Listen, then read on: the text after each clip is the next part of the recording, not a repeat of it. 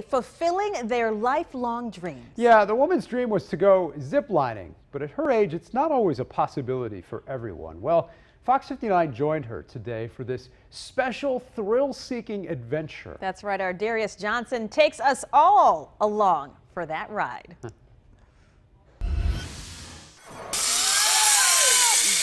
I ask every resident what their love of dream would be, and Margaret turning 100, I asked what she wanted to do and mentioned zipline. And then Kelly said she would go with me. I said, okay, I'm ready. I hold on to this. Margaret Plattner turned 100 years old in March. She's been training for months before she was ready to hit the ropes. Physical therapy at um, Clear Vista, they helped me strengthen my legs and, um, and to prepare for this. They had some steps that I practiced uh, going up and down so I could be able to handle the steps.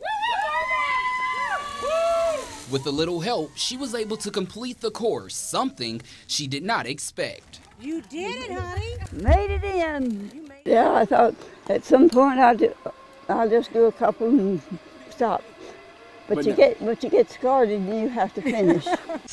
but she was dedicated. Just think of the way I can stretch myself and do what I can do and um, don't don't stop thinking I'm old and I can't do so and so. Just keep doing. And a piece of advice for anyone who doesn't believe they can do anything: continue living, continue pushing, continue the life that you have. Because you only get one. I think God has a purpose for each of us.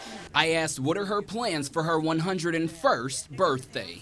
No big plans except just to follow what God wants me to do. It was zippy. And that is the best plan of all.